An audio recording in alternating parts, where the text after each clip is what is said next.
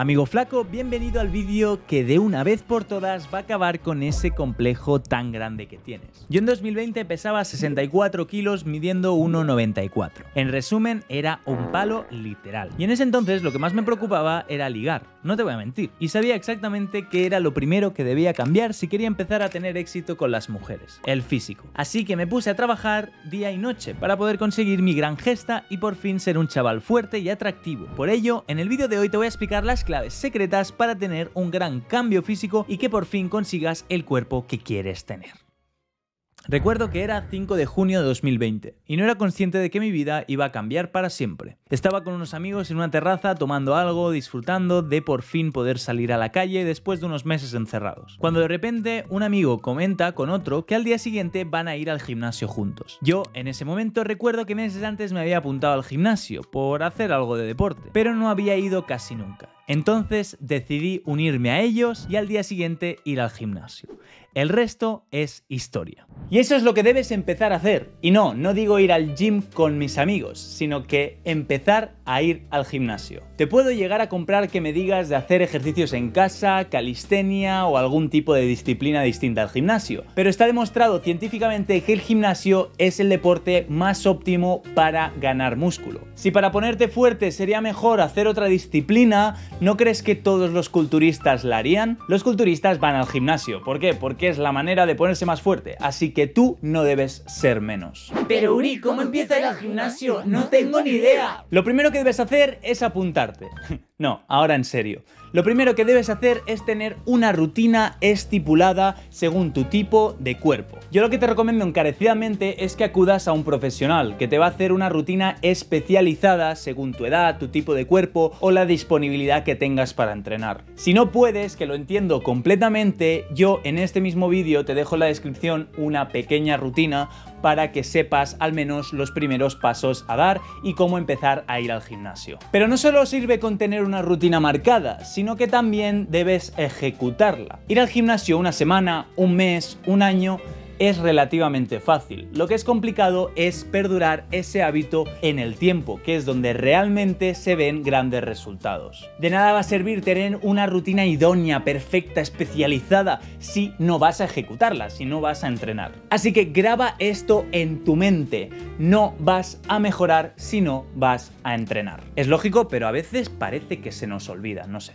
Pero ¿y si te digo que ir al gimnasio no te va a servir para absolutamente nada? Espera, espera, espera, que ya sé que ahora estarás dándole a dislike, de suscribiéndote y comentando, Uri, eres un vendehumos, estafador y todas estas vainas pero es que te tengo que explicar algo que te va a interesar. Cuando nosotros entrenamos, lo que realmente estamos haciendo es romper las fibras del músculo que estamos usando. No os preocupéis, no es nada malo, no os va a explotar el bíceps ni nada por el estilo. Pero al romper estas fibras, lo que nuestro cuerpo hace es regenerarlas de una forma más fuerte y resistente, para que así la próxima vez que tengamos que levantar ese mismo peso, nuestros músculos puedan hacerlo. Pero en esta ecuación tan sencilla hay algo que no estás teniendo en cuenta, y es el que usa mi cuerpo para generar estas fibras. Pues básicamente usa lo mismo con lo que nuestro cuerpo vive, los nutrientes. Por ende, si entrenas muy duro, pero después te comes una ensaladita, tu cuerpo, por mucho que intente generar esas fibras y ponerte más fuerte, no podrá, porque no tendrá ningún tipo de energía que le permita llevar a cabo ese proceso, haciendo que ir al gimnasio sea una completa pérdida de tiempo. Y con esto sobre la mesa, irónicamente,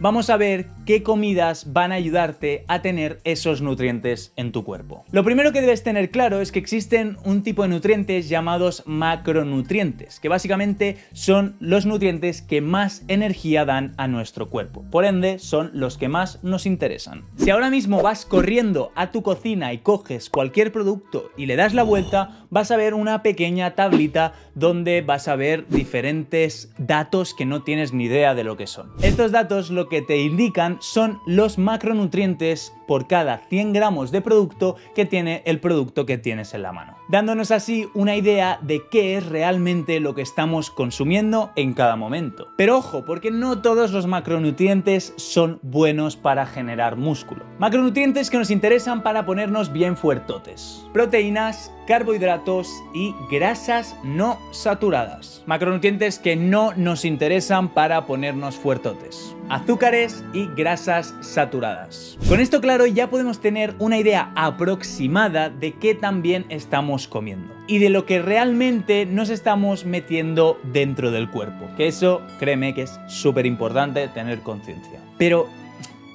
creo que falta algo. Pero ¿cómo sé cuánto tengo que comer? Eso era lo que me faltaba, muchas gracias. Al final va a variar mucho según tu edad, tu altura, tu peso y muchos factores más. Mi más sincera recomendación es que busques en internet una calculadora de macronutrientes que te dirá exactamente lo que debes consumir cada día. Pero a ver, sinceramente y siendo totalmente honesto, si estás en este vídeo es porque seguramente tengas un metabolismo muy acelerado, es decir, que seas muy muy flaco. Entonces tu cuerpo de por sí no va a generar grasa, no vas a ponerte gordo, es muy complicado que te pongas gordo. Así que yo lo que te diría es que hicieras lo que yo hice cuando pasé de flaco a fuertote. Ahora ya no puedo hacerlo porque ahora como que mi metabolismo ya se ha equilibrado un poco, pero lo que hice básicamente fue comer al fallo siempre y cuando estuviera consumiendo comida de buena calidad, con buenos macronutrientes. En resumen, que comas mucho, muchísimo, hasta reventar,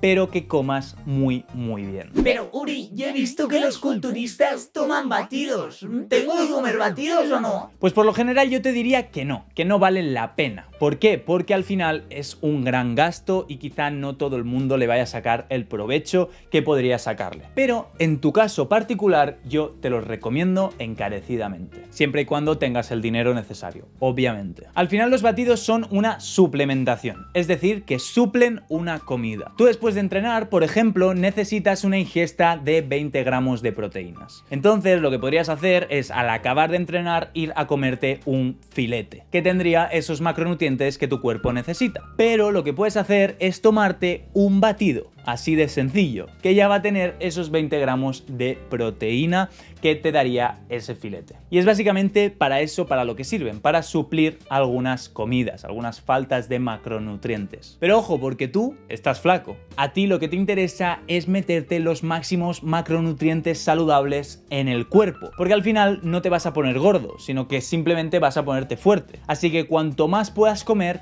mejor. Y yo ahora te voy a dar un pequeño life hack que creo que te va a ayudar muchísimo como a mí me ayudó cuando empecé en el gimnasio. Y es que al final, como te he dicho, un batido de proteínas puede tener como unos 20 gramos de proteínas aproximadamente. Y sí que es verdad que si lo suples por una comida, pues prácticamente te quedas igual. O sea, podrías comerte la comida o el batido. Pero ¿y si me como la comida y el batido? Yo, por ejemplo, desayunaba huevos con pavo y pan. Un desayuno muy, muy bueno y contundente en macronutrientes. Pero además, le metía unos macronutrientes extra. En vez de en el desayuno beber café o agua, me hacía un batido de proteínas, haciendo así que mi desayuno tuviera 20 gramos de proteína extra y sin perjudicar la cantidad de comida que podía comer porque realmente el batido no llena. Haciendo así que literalmente mis desayunos fueran God. Pero ojo, disclaimer, ten claro que los batidos son una ayuda, no puedes suplir toda la comida que te comas por un batido, ¿vale? No lo hagáis, o sea, no os va a servir para nada, vais a acabar famélicos, vais a acabar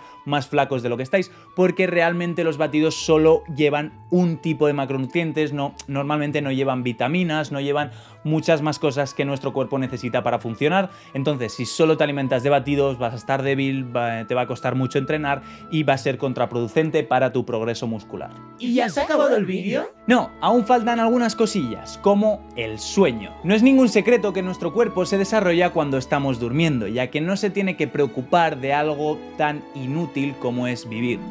Obviamente no te sé la ironía. Así que será primordial que duermas como mínimo unas 8 o 10 horas diarias, para que así todo tu esfuerzo entrenando duro y comiendo bien tenga grandes resultados. Ahora sí se ha acabado el vídeo, ¿no? No, porque falta un tip extra. Bueno, hecho así, pero es un tip extra, del que muy poca gente habla de manera seria. Y es...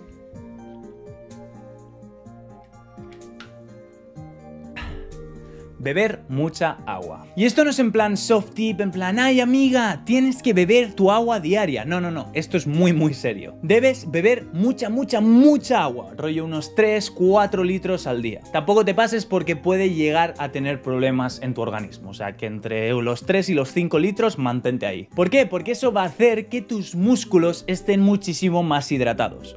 Por lo tanto, cuando estés entrenando, cuando estés en el gimnasio, se van a fatigar muchísimo menos, haciendo que puedas tirar pesos más grandes y por ende romper muchísimas más fibras. Además, bebiendo mucha agua lo que haces es eliminar muchas toxinas de tu cuerpo, haciendo así que tu piel se vea mejor, que las arrugas que te puedan salir en la cara se disminuyan y muchísimos beneficios más. Al final estamos hechos en un 70% de agua, así que yo creo que beber gran cantidad de agua siempre va a ser positivo. Pero en serio, bebed agua, o sea, es un life hack brutal. En plan, la vida es mucho mejor bebiendo agua. Y ahora sí que sí, se ha acabado el vídeo. Espero que gracias a este vídeo por fin puedas tener el físico que tanto has deseado toda tu vida, por fin puedas estar mamadísimo y dejar a todas las mujeres patidifusas cuando te vean y digan, Dios, vaya chavalín, este seguro que se vio el vídeo de Uri Martínez sobre cómo hacer volumen siendo flaco. Estoy seguro, este vídeo va a ser ultra viral, estoy segurísimo,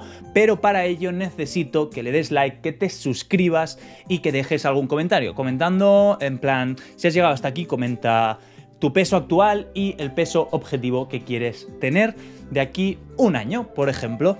Dicho esto, muchísimas gracias por ver el vídeo, repito, dale like, suscríbete y nos vemos en el siguiente vídeo. ¡Chao!